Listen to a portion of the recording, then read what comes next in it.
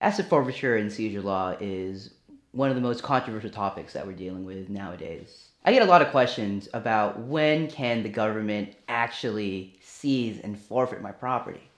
The, the simple answer is whenever you have been accused of a qualifying crime.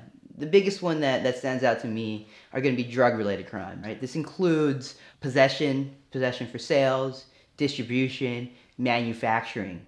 Not only if the actual contraband is actually seized, but any instruments, instrumentalities used in the manufacturing, sales, and distribution of these contraband materials, as well as anything that you've purchased as a result of profiting from these endeavors. You also have the white collar crimes, which include embezzlement, securities fraud, structuring, all crimes that have to do with a breach of fiduciary duty. Crimes like that. And just like the drug crimes, the, the feds or possibly even state authorities are going to try to trace your proceeds from those crimes into property that they're now going to be seizing. Now, just the accusation by itself isn't enough for a seizure and later a forfeiture. To be seized, they actually have to do it pursuant to a warrant, as with any other piece of property.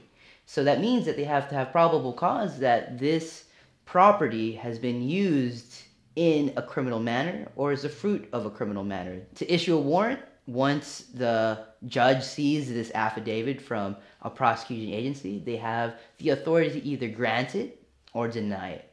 If they grant it, the warrant is issued and then the authorities can come and actually seize the property. In addition to the warrant requirement for a seizure, there's also various exceptions to that requirement. One of the exceptions, at least for the federal government, is when a local agency seizes the property and then it then gets transferred over to the federal government.